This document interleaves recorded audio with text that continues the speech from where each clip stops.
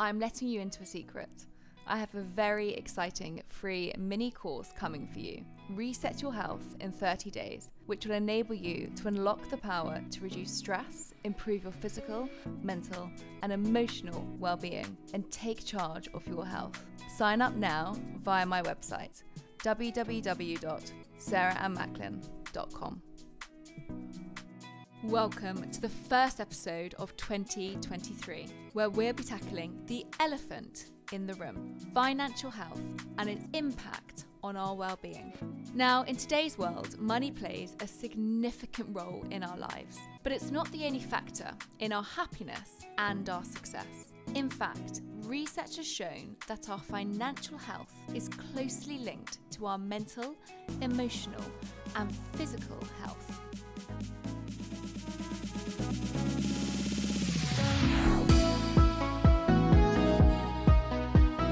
Thing is, is that we only all of us only have 24 hours in a day. And so i always encourage people to do a time audit where they look at the 24 hours of a day over a seven day period and actually look and see how they're spending it. And does how they're how they spend it does it align to what they want to do with their lives? And like their whole lives not just their careers. In my opinion, wealth isn't measured in your wallet, it's measured in your calendar. So I'm thrilled to be joined in this episode with Melanie Eusebe. She is the chair and co founder of the Black British Business Awards and director of strategy and consulting at Accenture. She is also the author of Financial Wellness and How to Find It. And she has experienced firsthand the effects of financial stress and overall well-being. Together in this episode, we'll be exploring the concept of financial freedom and sharing tips and strategies for achieving greater financial health and overall well-being. Tune in and learn how to measure wealth in your calendar and how to achieve the ultimate life's currency, freedom. Melanie, welcome to this week's episode of Live Well Be Well, the first one of 2023. yay Um, how are you? I'm well. I'm well. A bit frazzled. You know, anyone with a newborn is frazzled. No sleep, but um, yeah, it's, it's just been a blessing. So I'm really good. It's a it's a good start to the year. Well, I'm very happy to welcome you and your newborn Max onto this episode. I feel like he's going to have a wealth of knowledge, financial knowledge, by the end of this. He is. He is. He's gonna be a millionaire. Max the Millionaire, I love it. And I was speaking to you about this actually this week, wasn't I? That I think we're 100 episodes in, and I cannot believe I've not covered an area on financial health because it's such a big part of how we feel overall. So I cannot wait to get into this with you because I know that you've obviously done a lot in your life, but one of the main things as well is that you've written the book Financial Wellness and How to Find It. And we're going to delve into that very shortly. But before we do, the one thing I want to ask you before we delve into that is Melanie, what have you changed your mind about in the last 10 years? What have I changed my mind about in the last 10 years? I have changed my mind about what happiness means to me. I think I had a very linear view of what happiness looked like into regards to the job that I would have, what I was doing with my time, when I would be doing it, where I would be doing it. Um, I thought, you know, I would have a nice job in the suburbs of London with my partner, having children, working full time for one company in one city. And so that's definitely changed. I, I'm so glad I let myself change as well. So now I, you know, work in Barbados and I work here. I have um, a partner who is a surfer and a painter who is in totally different fields from me and my my business my my businesses and never thought I would have a book as well. So I think in general, it was just about being flexible enough to be able to take up the opportunities that were offered to me, even if they didn't look like what I had planned for. I think that's such a great answer and also so inspirational for anyone listening to this, maybe feeling beginning of the year, trying to set out their goals and what they want to achieve and maybe how they want their 2023 to look. Just hearing that, especially for me, hearing your journey is really inspiring. So before we get into financial well-being, which maybe is something a term that people might not have heard of before, can we talk a little bit about how you got into this and how did you change your life? How did this elope over the last few years? I was working full time for a really lovely large company, but I'd always wanted to be an entrepreneur. And I realized that even though I had business ideas, I actually didn't have the freedom to go and start my own business. I was living almost paycheck to paycheck, and I was making more money than most. And I was still eating lovely lunches and dinners and buying lovely handbags. And I lived in a nice flat. And but when I really wanted to do something with my time that I, I wanted to really do in terms of being an entrepreneur, starting a business, I realized I wasn't free. I didn't have the time or the resources to kind of spend dedicating to starting up a business. So that was like the first signal that something was kind of wrong with my finances. The second thing that was wrong with my finances, well, a second kind of hint was when I, um, my friends and I, we used to watch, um, or we still do watch, kind of uh, the Real Housewives franchise. And we do it on a kind of a weekly basis or a bi weekly basis. We watch it together. And I was going over there, and one day she said, Mel, is it okay if I do my budget at the same time? And I'm like, sure, no problem. And so there she was with her, you know, laptop and her spreadsheets and her, you know, receipts and stuff and bills and whatever. And every two weeks she'd be doing this. And so I was like, wait a minute, like I'm missing a trick here. You know, let me just do it with you. I'm like, okay. But, then I, obviously I had to set up a budget. And the thing is, I didn't realize that actually making money takes time you know it takes investment of time and it was also fun as well because we were eating snacks we were drinking wine we were watching real housewives of atlanta and we were doing our finances as well so the time would just pass quickly and then we added more and more people to the group and more and more people all of a sudden there was 10 black women around the table who you know all now are good friends because we were doing our budgeting together but then we also started talking about our goals we started talking about our bills we started talking about investment started talking about retirement, started talking about our children. And so you just realize that money was just the source of me feeling really, really stable to be able to go off and do some of the things that I've done.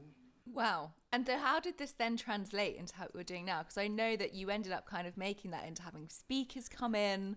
So talk to me a little bit about how you've managed to make that leap from creating that budget with your friends at home, or especially that specific friend who sounds amazing, by the way, the fact that she encouraged that. She, she well, she didn't really encourage it. I kind of just dra- dragged down just her coattails, to be honest. I am gonna do this. Uh, but on the other, but what um, we started to, you know, all of a sudden we started to think about just some of the things that we wanted to do with our time, like our goals. And so um, we were at the time when we were trying to buy our first homes. And so then we got a mortgage advisor to visit us.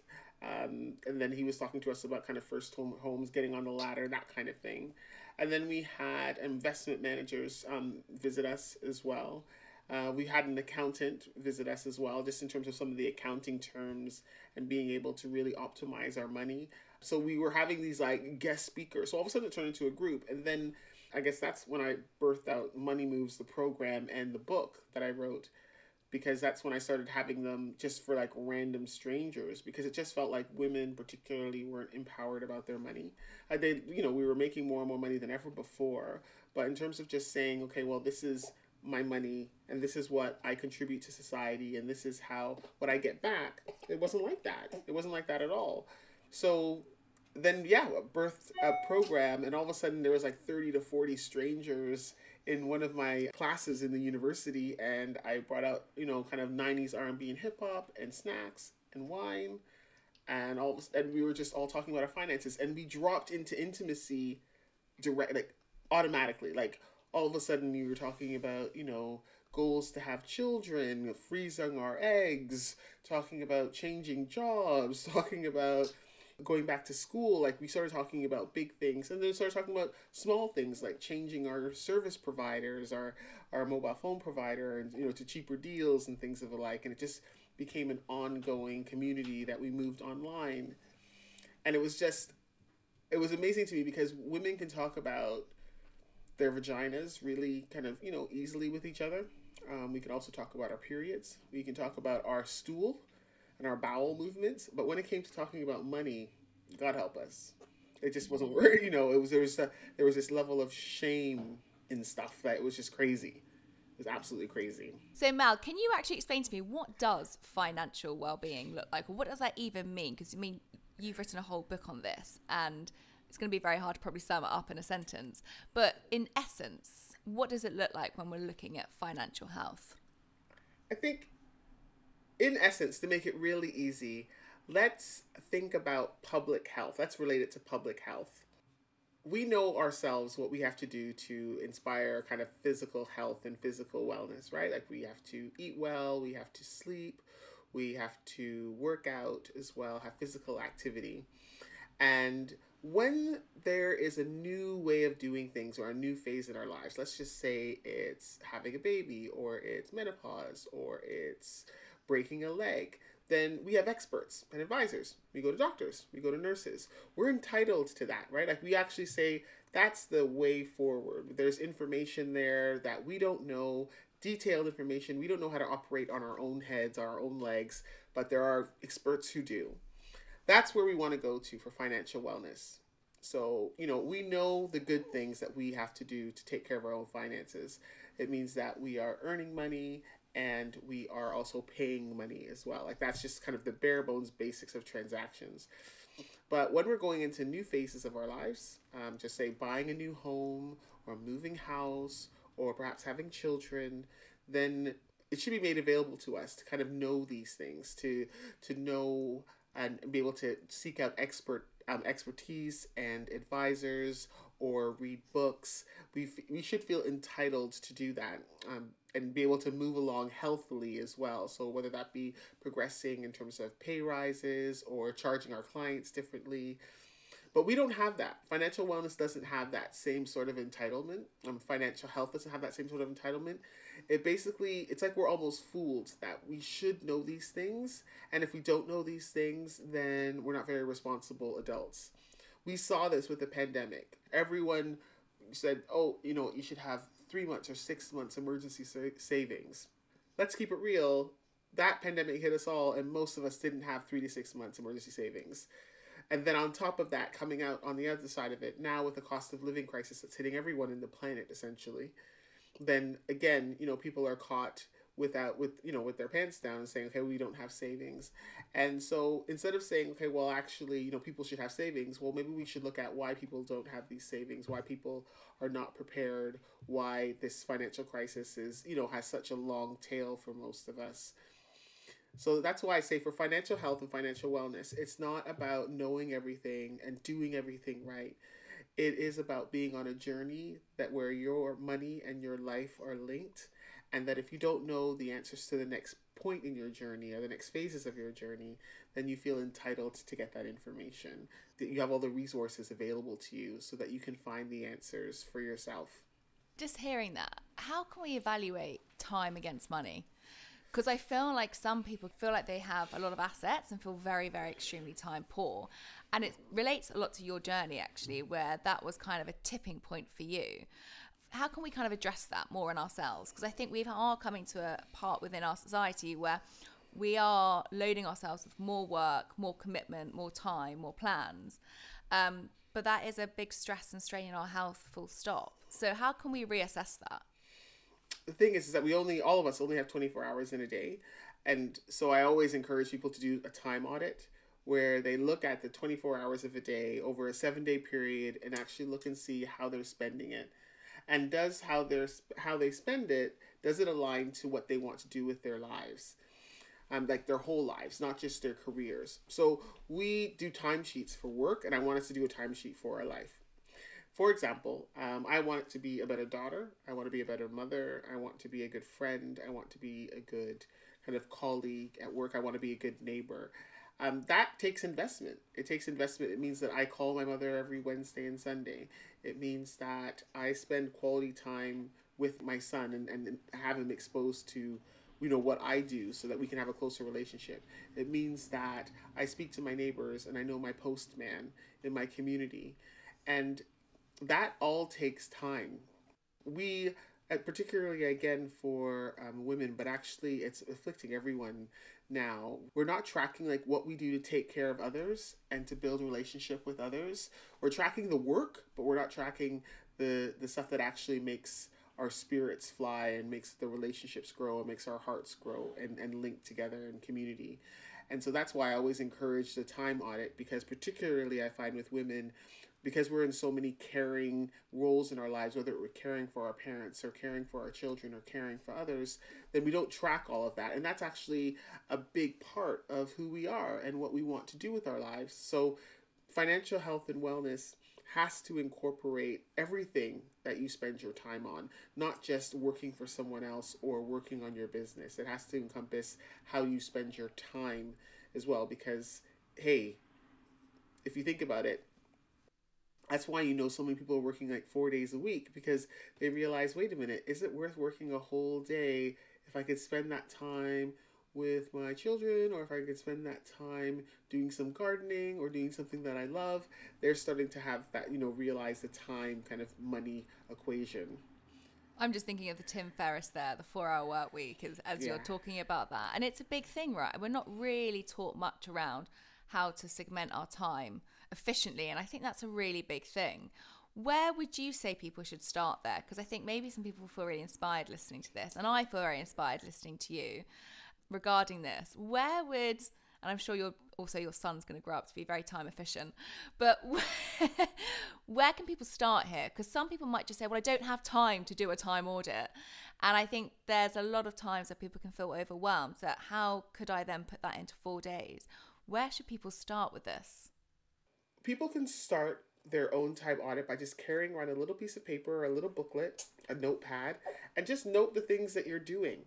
I don't want you to forget what time it takes to, you know, commute to work. I don't want you to forget when you stopped off at the grocery store after work. I don't want you to forget the time that we spend scrolling on our phones and social media. All this time, um, if you just start with a little notepad uh, I have a little chart in my book that you can copy down and you know and, and create recreate for yourself. And it's eye opening if you do it after just for seven days just for seven days just to see it. Because the thing is what gets measured gets done. And if you're not measuring your time then it's really really hard to kind of change how you use your time in order to seek your own goals and to seek out you know and to do the things that you actually want to do and particularly i would say you know if you're caring for others if you are caring for your elders caring for children if you're caring for colleagues then those little they kind of seep away at your time. And what i'm i'm not saying that you should stop doing them at all. What i'm saying is that i want you to be in, a, in an empowered place where you've made a decision to do it. I've made a decision to you know call my mom and spend time with her. I've made a decision to spend some special time with my son. I've made a decision to make tea for my colleagues or bake a cake rather than it being just you know little little pebbles that are kind of seeping out of your life pebbles of time that are seeping out of your life and at the end of it you don't even know you know where all the time went. So start off really really small. Um even with your finances i would say in terms of budgeting start off really small. Just start off like with one portion of your life. Start off by just doing it for one hour, but don't kind of kill yourself by just throwing a big old hammer when you're trying to kill a fly. Let's just start small um, and just realize that actually it's a journey. This is all a journey. You're not going to be perfect and complete after doing it for two hours. Well, I think that's the thing, right? It's always, I love this phrase where it's look at the step ahead of you, not the full staircase.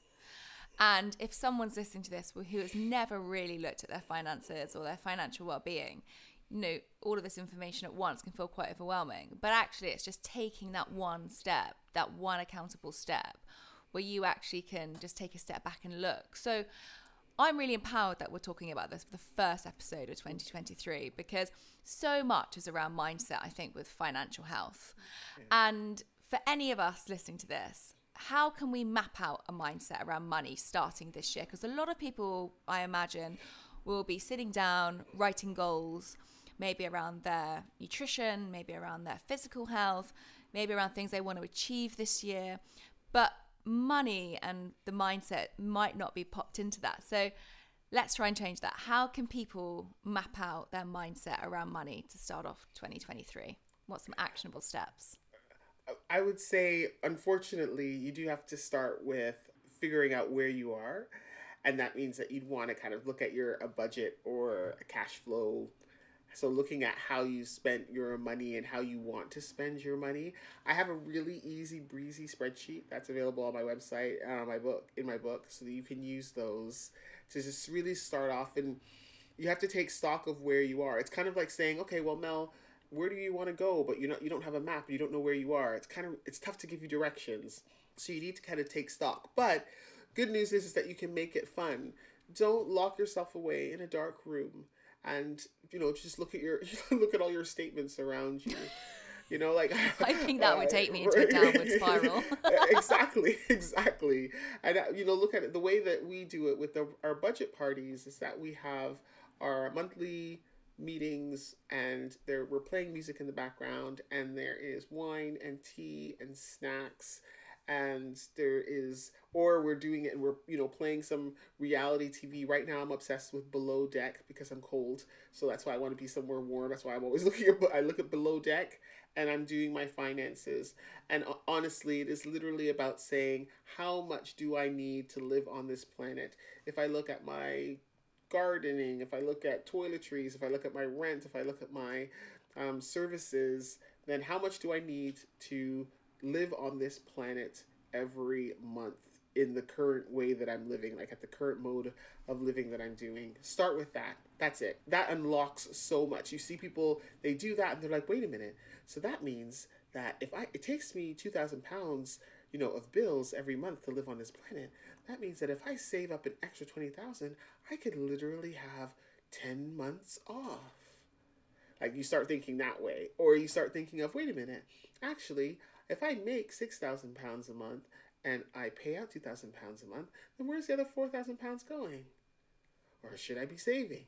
Or what should I be doing? Like you know, all of a sudden, or it's saying, "Oh, wait a minute, how are my bills four thousand pounds a month and I only make three thousand pounds a month?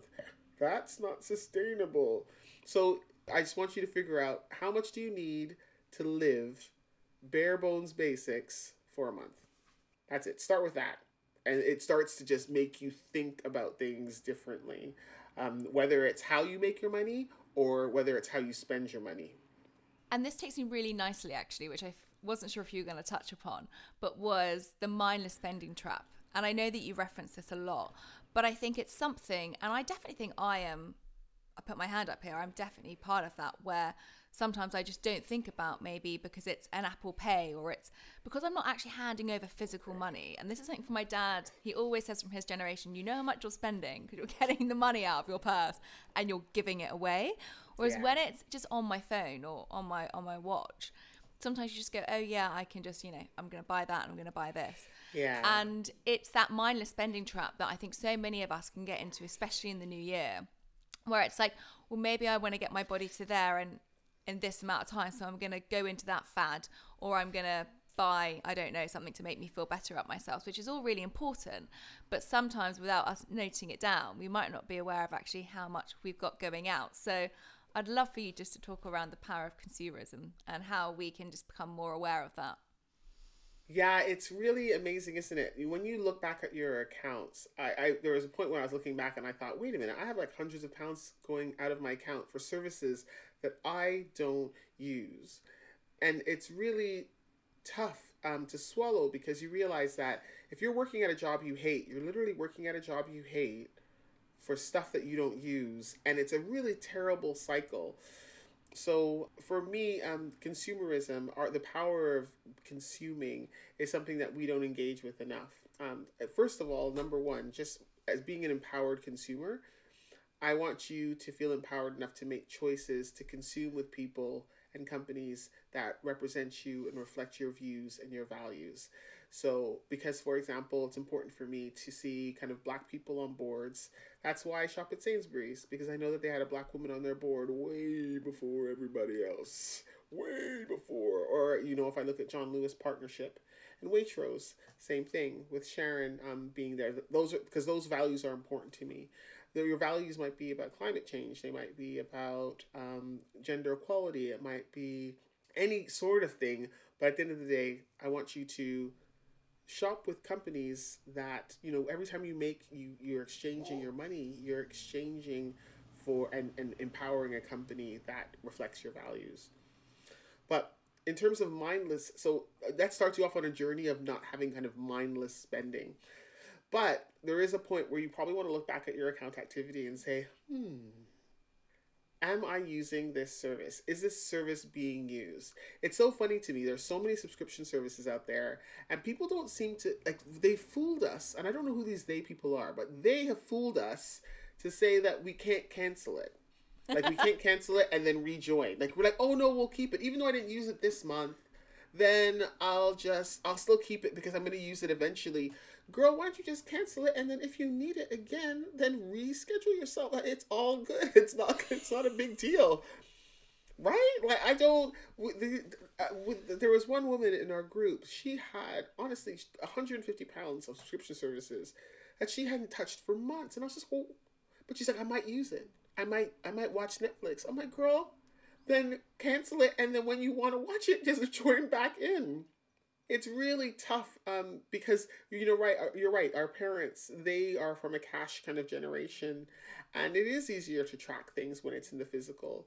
But what we do have is that we're able to like literally at a two presses of our thumbs see whole transactions all of our account activities and we can have notifications as well. So let's just say you put in, a note in some financial institutions they will give you a notification if you spend at a certain institution so if I spend at Crosstown Donuts, then I get a little notification coming up. Not hating on you, Crosstown. It's because you know I love you so much. That's why I need a no- notification. I can literally put, I can categorize things as well. The key difference between kind of spending in cash and spending in, um, you know, electronically is that with cash, you have to make the intention of taking out the money and purposing it to spending it and buying something. With your card, it's a little bit easier to be mindless about it. Like you just kind of carry your card around and you're tracking things after you've it's already left your account, which doesn't really help much. like it doesn't really, prov- you know, if there's no money in your account, there's no money in your account. But if there's money in your account, then you can go all the way down to zero just spending mindlessly. Where with cash, it's a bit more difficult to do that. So I always say that don't rely heavily on kind of electronic banking and, and electronic tools to track your money. Most of the time, I want you to look forward and plan your money a little bit more because really bank accounts are only going to be able to tell you what's already gone from your account, so you can't really do much about it.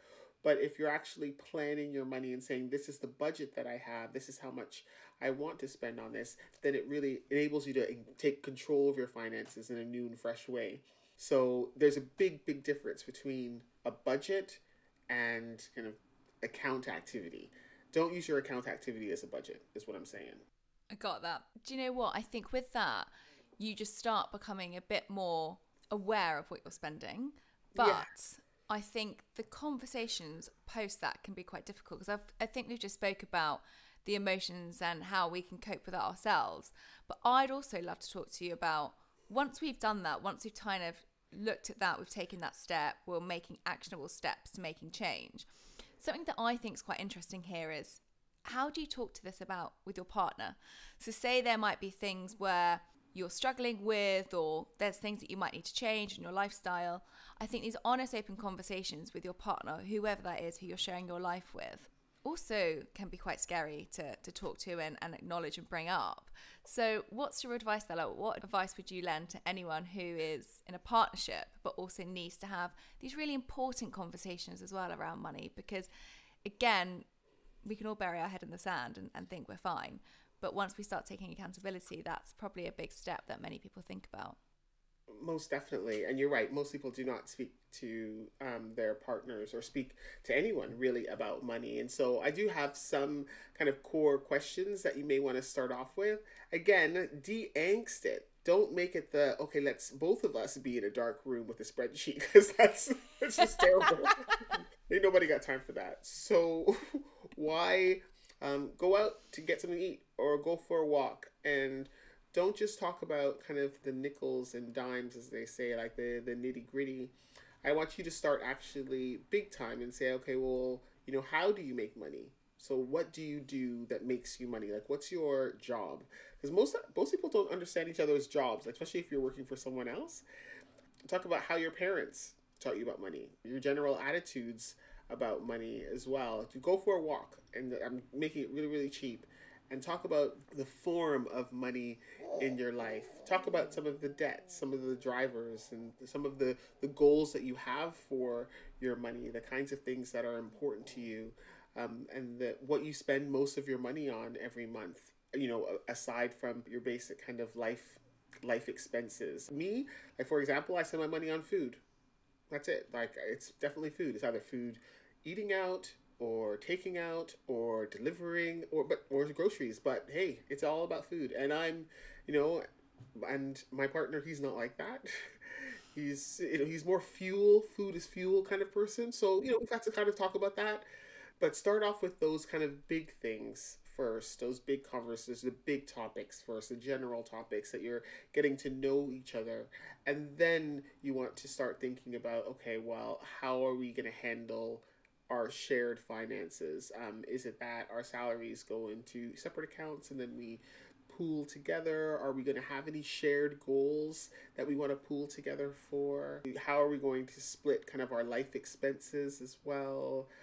Th- that usually takes months really to start unpeeling the layers of that onion. Don't try to do it all at once. You know, just maybe schedule some special time when you're going for a walk or it's some key conversations. And I do have some questions in my book to kind of help prompt those conversations. But just know that most people don't talk about your, their finances. Very few cultures kind of encourage kind of familial talking about finances. There's one family I heard um, a woman told me about that they literally sit at the kitchen table on a monthly basis and like the kids just are there when mommy and daddy are doing their their their finances. That's fantastic. Like, what are they learning? They're learning so much. And that's where we want to get to. It's part of our home. It's a big thing. Well, it just being British, you know, it's such a stigmatized topic. And not that it should be. And, and I referenced that because I was speaking to somebody this week and she was asking me about money. And it was weird. I kept apologizing for talking about maybe goals or things that I was like looking on for for my future. And she said, You have to stop apologizing for talking about this. Like, this is really essential to mapping out your life and your goals and where you want to head. And it was really interesting because it made me reflect more on myself and go, Why do I feel shameful on talking around money? But there is something there, especially within the British culture, that has this a big shameful topic or umbrella over it that we shouldn't really be talking about this but actually just talking about you know our earlier conversation of how our finances really affect our health and how stress plays a huge part with our financial income. How can we actually reduce this shame? How can we feel empowered? And I think that's something that you bring a lot to this conversation is we need to feel empowered by this and empowered by these conversations. But how can we leave this conversation today and go, I'm not going to feel shameful around talking about money and my goals and my assets because a conversation shared is, is a problem solved as we've seen in your budgeting meetings. But how can we reduce this this shame?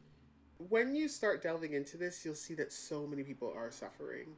Again, the Financial Times did a whole feature spread on financial health and wellness because finances are the biggest stressor like it, and they're an underlying stressor it's not like an event stressor where it's you know getting divorced or moving home no no no no it's just a constant weight of stress and so acknowledge, I want you to know that, that you are not alone.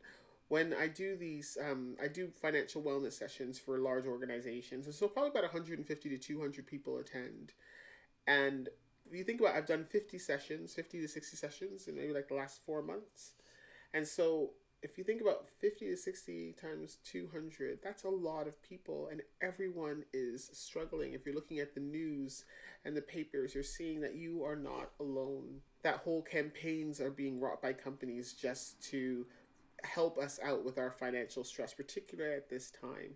So I want you to know that you're not alone that everyone is stressing out and no one knows as much as they want to know about their finances none of us got taught in school about how we should be managing our finances to be wealthy or to be financially healthy or financially free. So, what does that mean? That means, woohoo, yay, you're in good company. And so, hopefully, that hopes that, that will take away some of the shame. And actually, the second part is just gently, gently. So, when I say gently, gently, gently, gently start to just inquire after your finances and look at, okay, well, how much do I need to spend this month in order for me to live at the level that I'm living at? Um, what are some of my fi- goals that I have, my financial goals that I have? Like, what what, what does it mean? What do where do I want to be five years from now or ten years from now? Who in my life do I want to speak to my finances about? When uncomfortable situations come up about finances, how should I deal with them? So, for example, um, there was a time when I was starting my business, I had no loot. And, you know, my friends love to eat. Remember the whole love to eat theme? They love to eat out. And so I had to kind of figure out, okay, well, how is this going to work when, you know, I, I was vegan at the time and, you know, everyone's eating meat and wine, and my backside is you know drinking with my little vegan self, you know, and my water, and I can't share that bill. I don't have the money to do that. I can't, you know. So therefore, I do I, you know, like how do you deal with those types of situations as well, and talk to your friends about them. Say, hey guys, I'm saving for a big goal right now, so I, I, you know I can't really spend a lot of money going out. Doesn't necessarily don't you know don't have to say oh I'm skinned I'm skinned I'm skinned. I don't want you to speak that into your life. It's more so I'm reprioritizing my money in a different way, and so that means I can't eat out, or maybe I can't take an Uber, or you know I'm going to take the, the the night bus home, or something like that. It's small steps, everyday little steps. It's you are not going to be able to read a bunch of books and go to a class and listen to this podcast and feel comfortable but you can take little steps every day so that eventually you'll be like, oh, I don't know this. Let me go ask somebody. Oh, I don't know this. Let me go talk to this friend. That's what you got to do. That's it. Small steps, my friends. It's a, it's a it's a journey of a lifetime. It's a journey of a lifetime. It's like motherhood, you know, like it's just a journey that goes through different phases. Absolutely. You mentioned something there, and it's definitely one of my questions that I've got. It's related a lot to happiness our financial health, but also when we feel like we're maybe going through that change in the mindset and those changes which you went through with maybe I can't eat out with that friend, or maybe I need to get the night bus home and that's a change in how I've normally been living, or maybe it's something of I've got to be really aware of my heating currently because actually I'm really struggling at the moment. Like small, like big things, but lots of different small changes that can really impact our life how can we still keep our happiness levels up when we need to be more restrictive around money? It's that mindset around, okay, I need to make these changes for my longer term goals. How can we still make sure that we're maintaining that happiness there? Well, you know, I read this amazing book, uh, The Happiness Project, and it went through actually what makes people happy. And so you'll find that a lot of the things that actually make us happy in terms of like reflecting physically in our well being are not necessarily very expensive. So I'd really encourage you, in terms of keeping up your happiness levels, I'd really encourage you to look at what makes you happy and drill down on those a little bit and just kind of plan for them. So, for example, I know that being at the beach makes me happy. So, I can't afford to necessarily live in Barbados full time with no job. So, I've planned for trips there. I've planned, and that means I've planned them for, say, February, I've planned them for July, and that means that I have a kind of a light to look forward to.